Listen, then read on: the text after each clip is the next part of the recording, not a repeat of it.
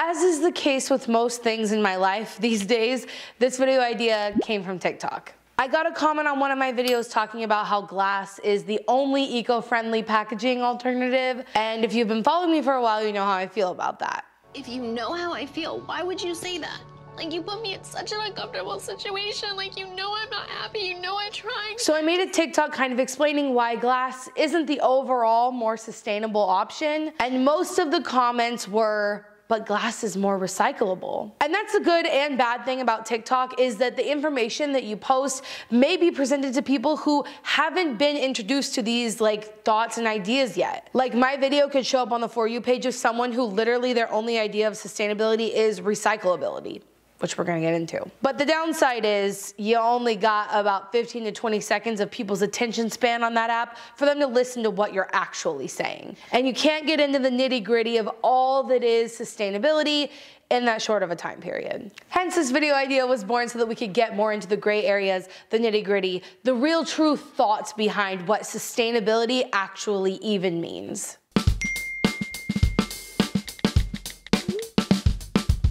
So let's start there with the myth being sustainable equals recyclable because in my opinion and as is backed up by data as well. This is simply not true. And I've been accused of being like paid out by big plastic or big oil and these sort of things for saying this. Um, but really, it's just, uh, I'm a numbers person. I love a life cycle analysis. I love looking at the full picture of things. I don't like black and white thinking, and that's where this idea comes from. But the idea that I've been paid off to say that glass is not the most eco-friendly option is laughable because in reality, us thinking that glass is the most sustainable option because it's recyclable is just a myth that's also been sold to you quite literally by giant corporations. Like the recycling campaigns back in the 70s and 80s that put all of the pressure on us to do the recycling, to take care of the waste. Yeah, that's propaganda that was put out there by corporations with very, very deep pockets, putting the responsibility of their waste onto our responsibility. And I think that propaganda and that idea, coupled with the zero waste movement in the mid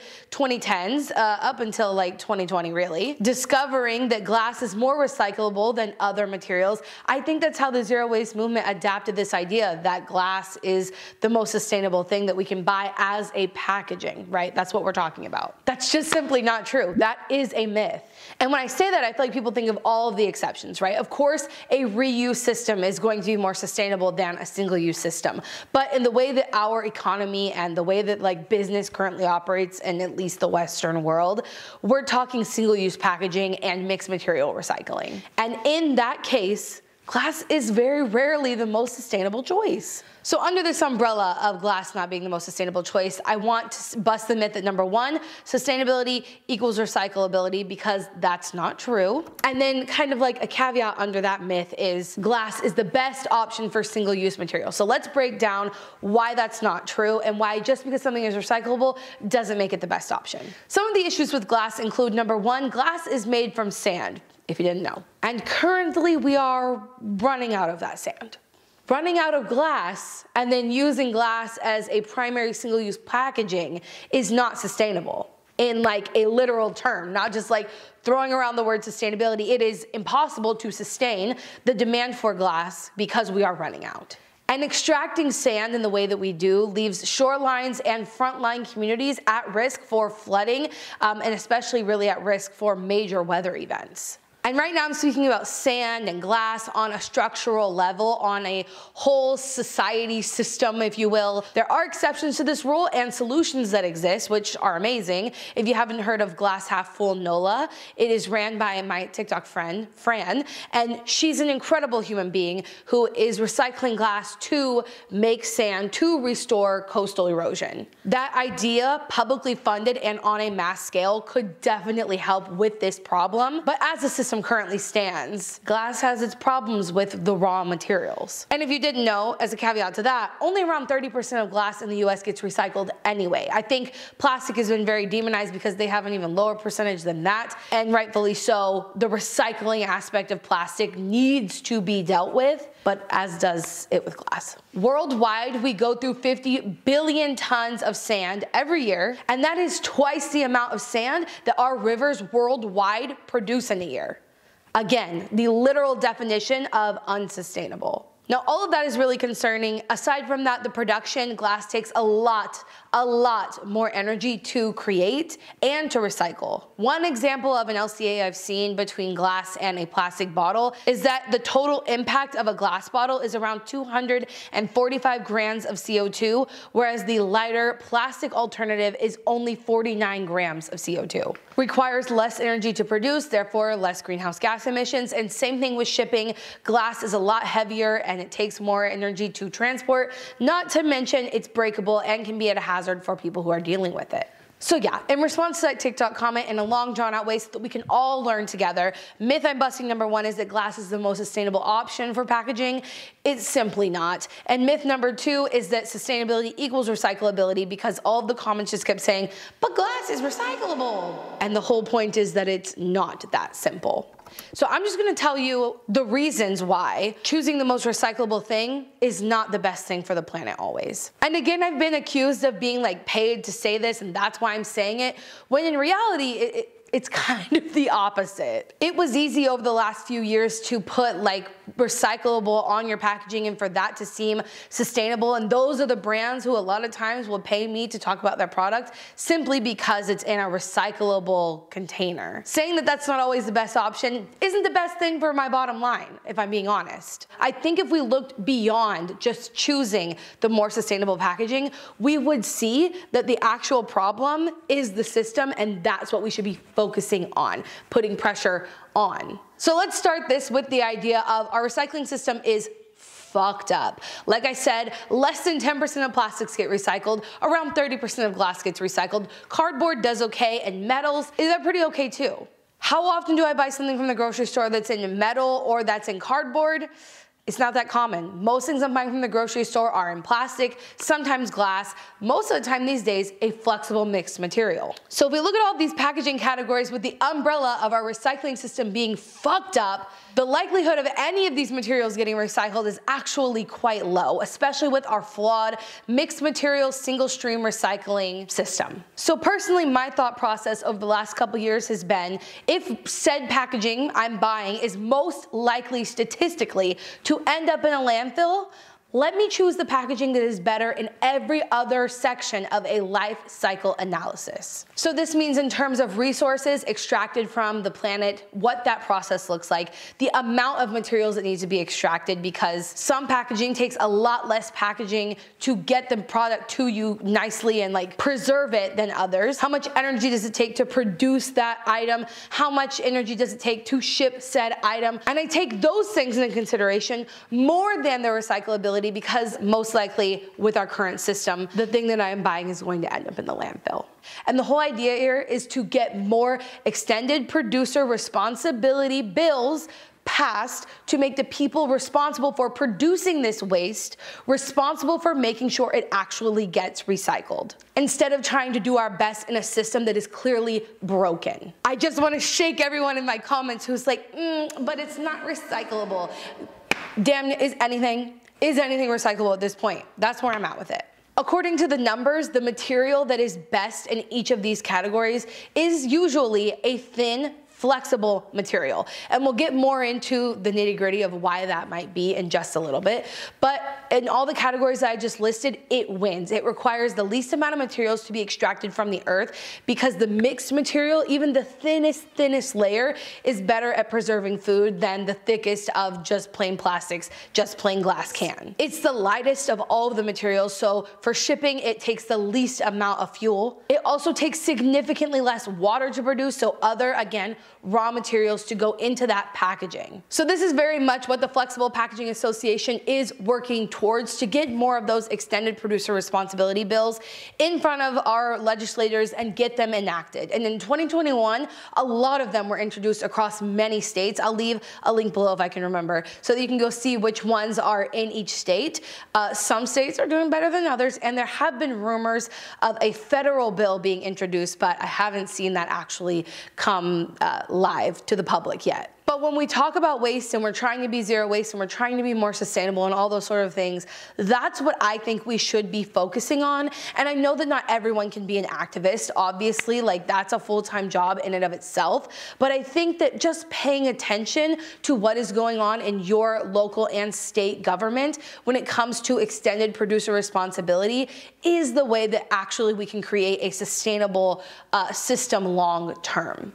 So I don't know if this one is necessarily a myth or just a misunderstanding and an oversimplification of the world, but um, not all packaging is created equal. So for example, something that you package in say like a plastic container with an aluminum lid can't just be put into a plastic container, can't just be put into a glass container, depending on what it is and how long they need its shelf life to be. For example, cat food is one of the things that I talked to Carlos from Enval about years ago on a podcast where he explained to me that you can't put cat food in a glass container, it simply will not last as long or preserve the taste and the freshness um, and just the material in general because light can get through glass.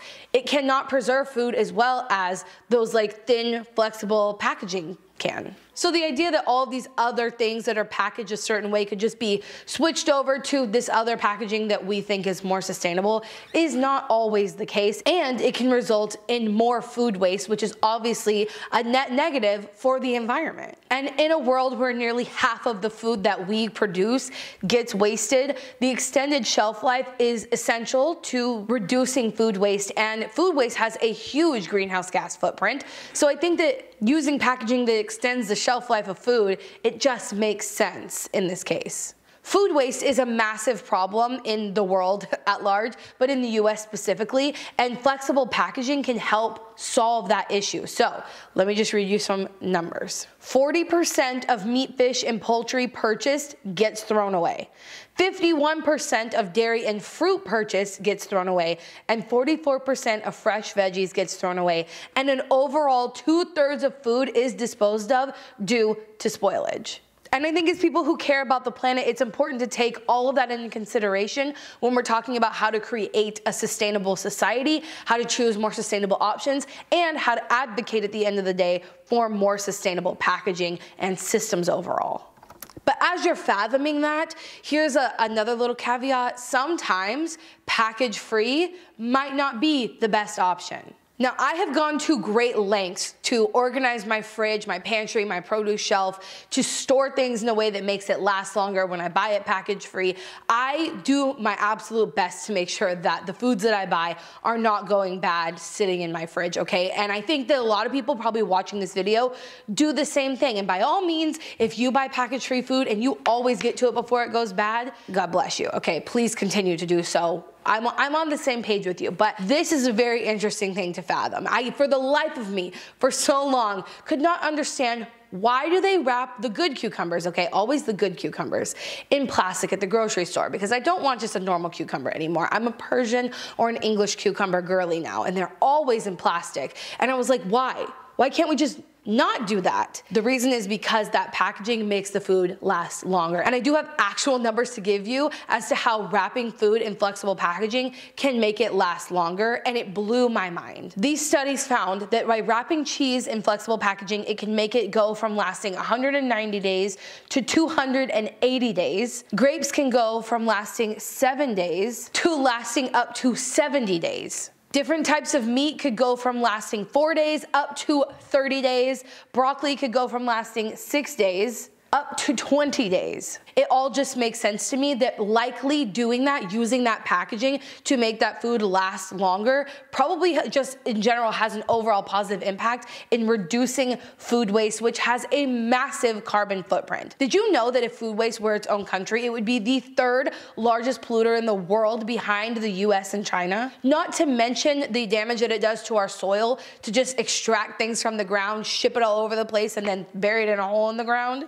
Food waste is a massive problem, and many experts have said that if we could fix our food waste problem, we would resolve so many huge environmental issues. And after realizing all these things, it really just shifts your perspective on what is sustainable and what is not, because we all think of packaged free food as the most sustainable option. And maybe for you and me in our homes, it works, but on a massive scale, when we're looking at the amount of food that is wasted by the average person, it makes more sense for them to have these things in packaging so that they have more more time to get to them before it just ends up in a landfill anyway. And even me, right? I am technically a sustainability expert, went to school for environmental science, obsessed with life cycle analysis, but that doesn't mean I know the life cycle analysis of every single thing ever.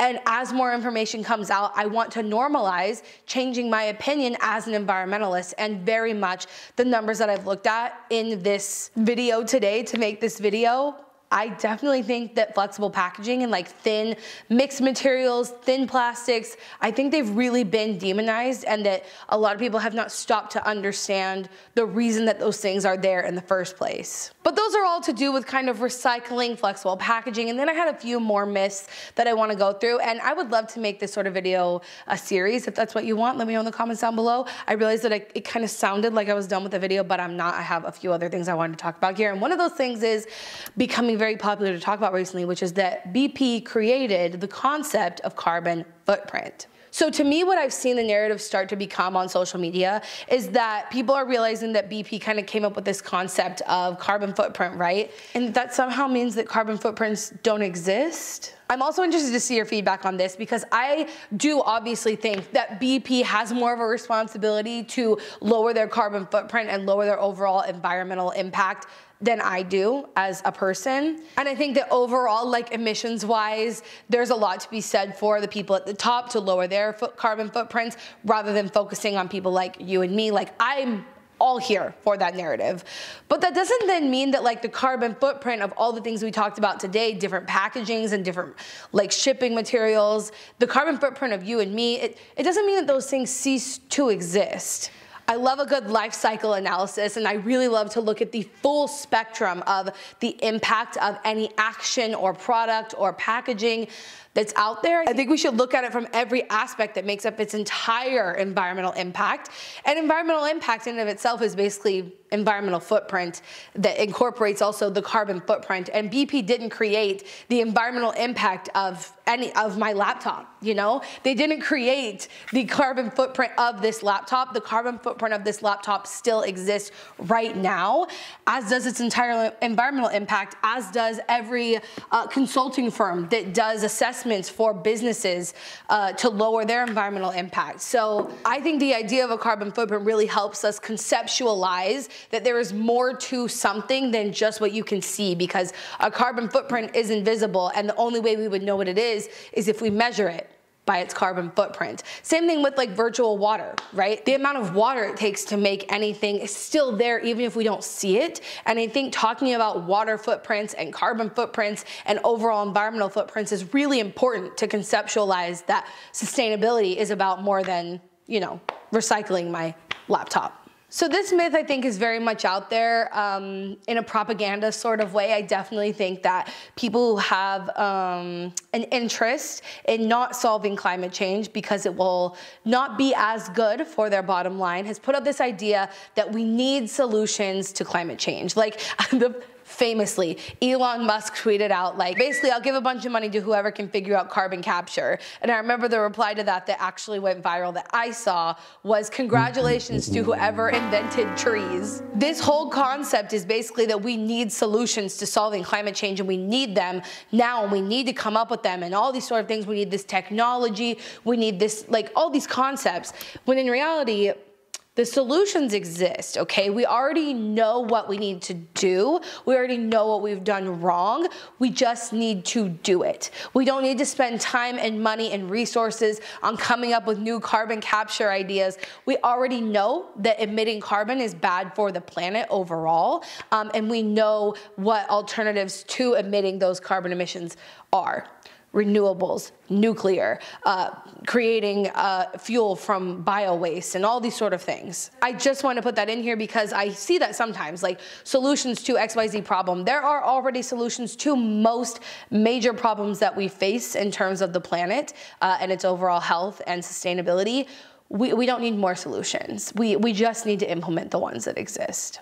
And to me, the biggest myth of the environmental movement of the sustainability space is that the responsibility to solve our environmental problems is all up to corporations, governments, or individuals. I think they're all myths. I think they're all wrong because I don't think the government has any motivation to implement changes that corporations have to make. I don't think corporations have any incentive to do that without the government. And I don't think the government has any incentive to change without us. For very much right now, for there to be a group of people who think it's not up to them, they have no responsibility, they're not gonna do anything. And over here, people who think that it's all up to them and individuals drive the market and they're the ones who have to do everything, the, there's very much two classes of people right now that want the same thing, but that are fighting because they can't agree which one matters more. And I don't think it matters at all which one matters more because it's all crucial to actually creating a sustainable society. And we've seen incredible movements over the last couple years, you guys, we've seen some incredible, incredible wins for the planet, especially the pass recently of the Inflation Reduction Act. I'm incredibly excited for what that means for the US's target goals. To meet our promises that we made in the Paris Climate Agreement and then renewed again at the last two COPs. But at the end of the day, it's not even really an opinion that it is up to one or the other, and it's not even an opinion that it is up to all three. It is just a, simply a myth that it's up to only one of those three classes of people because it is up to all of us. Change will not come without it coming from all three of those uh, groups of people. So I'll leave you off with that today. Thank you so much for watching. And remember, until next time, because of the context of this video, I'm going to say, do your best and advocate for the rest. Thanks, guys.